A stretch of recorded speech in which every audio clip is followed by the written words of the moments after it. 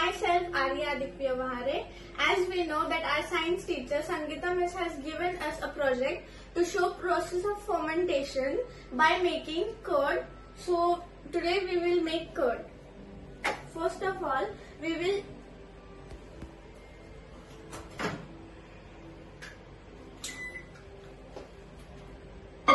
boil some milk.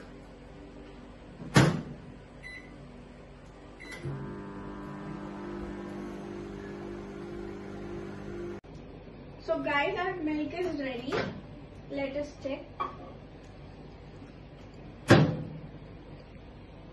Yeah, it's warm. Now, we will take a bowl. Take some curd. I'm taking not even a spoon. Now we will spread it.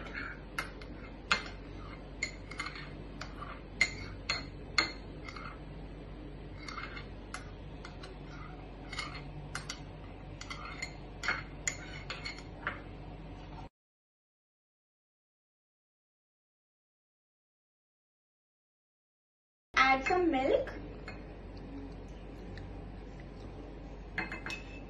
That's it. We will cover it and leave it overnight.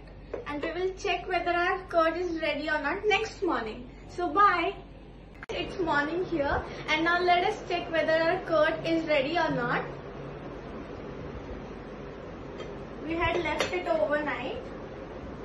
Oh. So as we can see our curd is ready. I would suggest you to let it set for 7 to 9 hours maximum so that it will taste really good. Now we will enjoy it. Thank you.